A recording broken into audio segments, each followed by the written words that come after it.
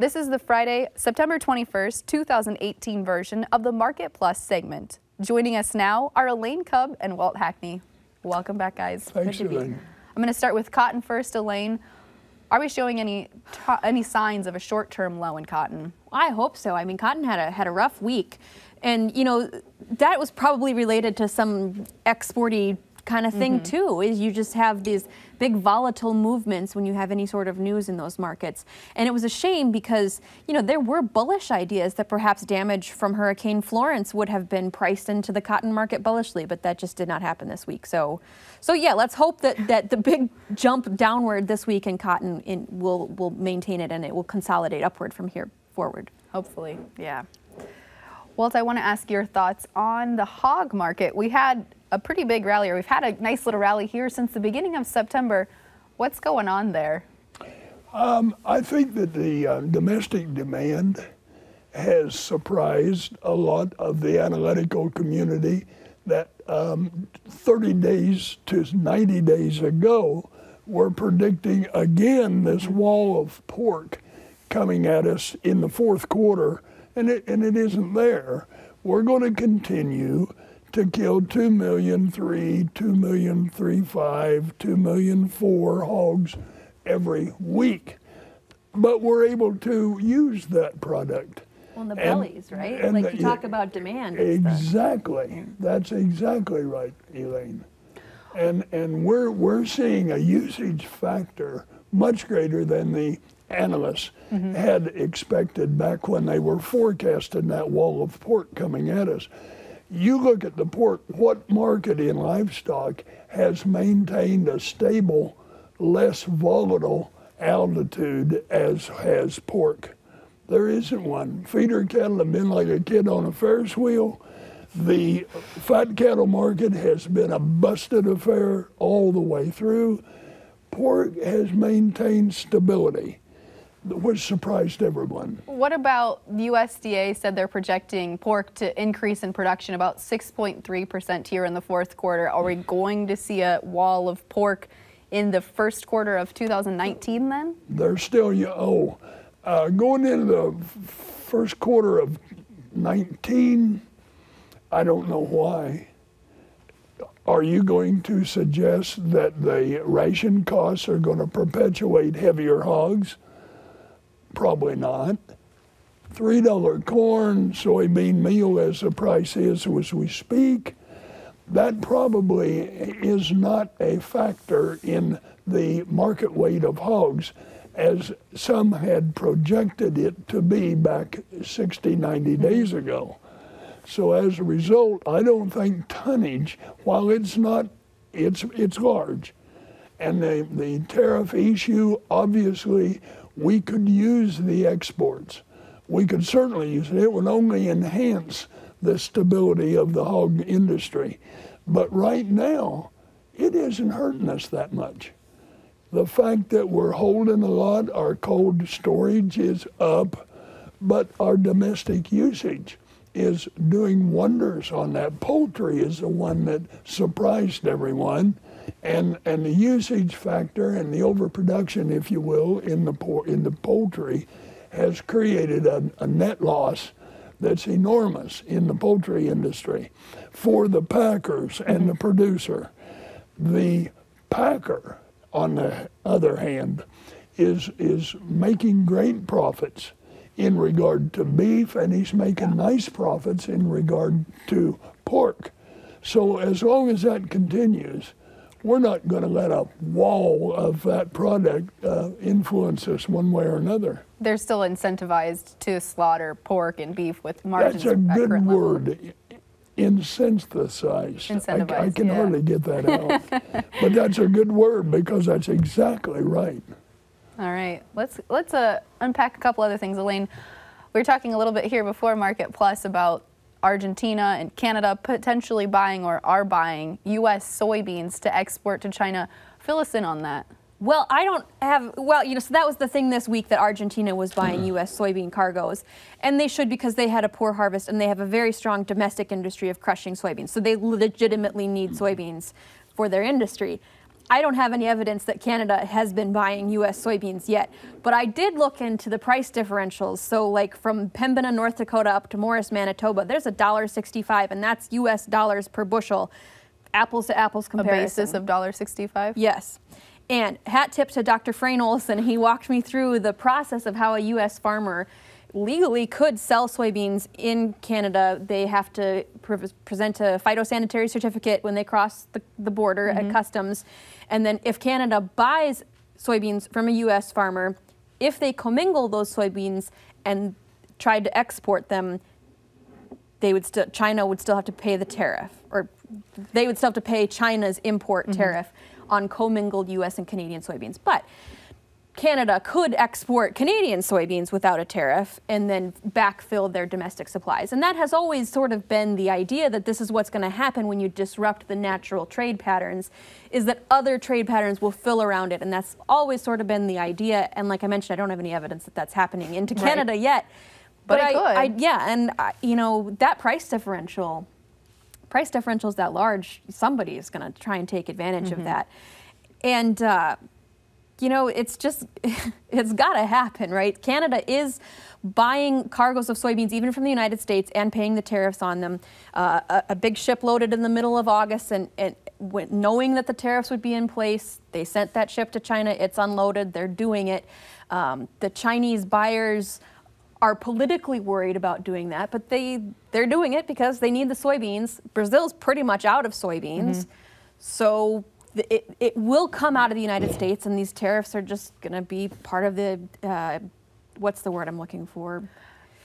Disruption of the market. You know, it's an interference in, in the free working of the market.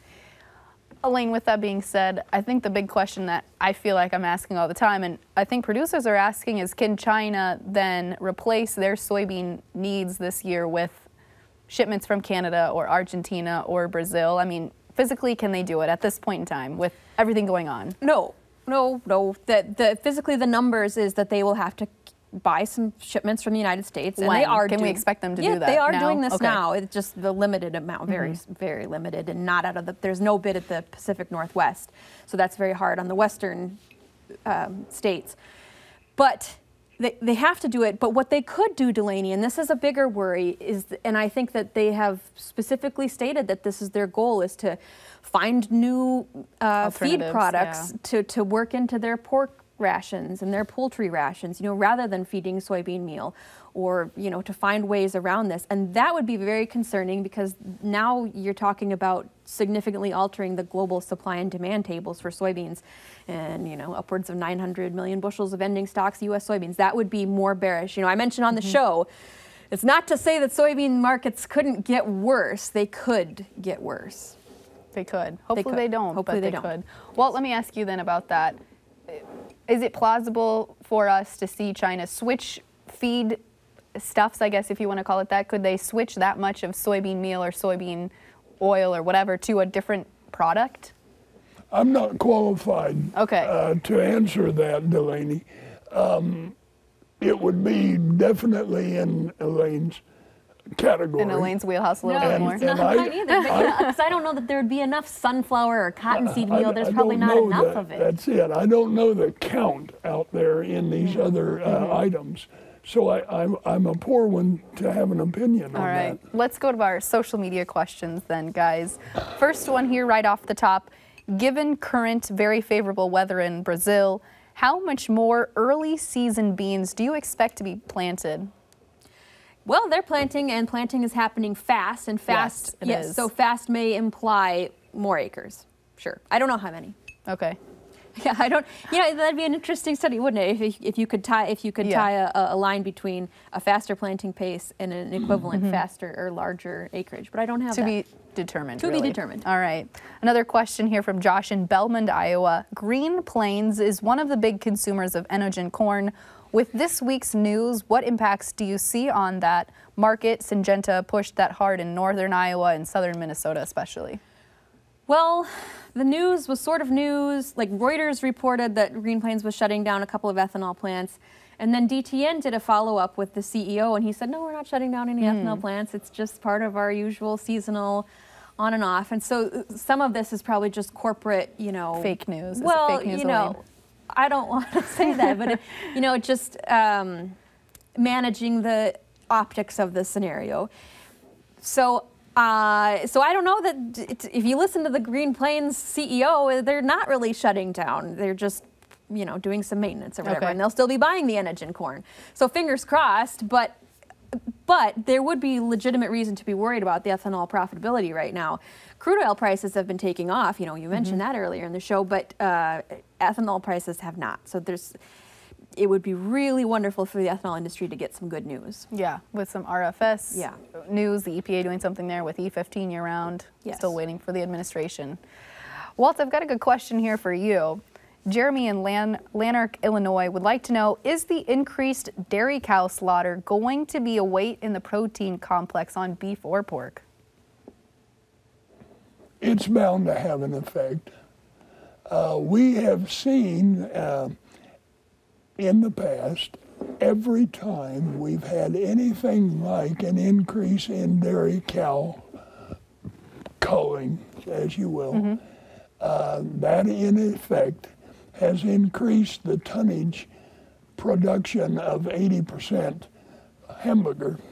And as a result of that, we've seen a depressing market on the product. Uh, not so much retail going into the meat counter as it has coming back to the cow. And uh, so the rancher, who is suffering to an extent with the drought, his lack of feed, the cost of feed, the expense of carrying his cow herds, he's also going to be in competition with the dairy cow increase.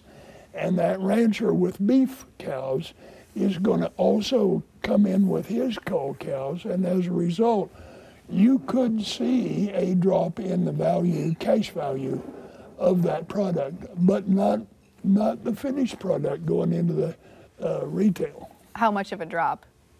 I don't know, but uh, you know, in that in that industry, um, beef cows of a cullable age, um, you're looking at uh, nine hundred to thousand dollars a head, roughly speaking.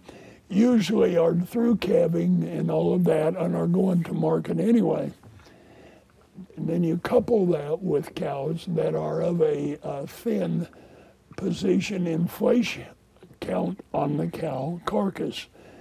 That also is going to affect that market. So how much it could affect 10 bucks a hundred. Now that's that's a lot of money. Yeah, you is. take you take a cow at uh, 1,000, 1,100 pounds, and uh, you take 10 bucks a hundred. You're looking at 100, 125 dollars a head. Mm-hmm. That's quite a bit. It is quite a bit. Well, you guys have definitely given, I think, listeners and watchers a lot to chew on this week. Walt Hackney and Elaine Kub, thank you so much. Yep. My pleasure. It's nice meeting you, Elaine.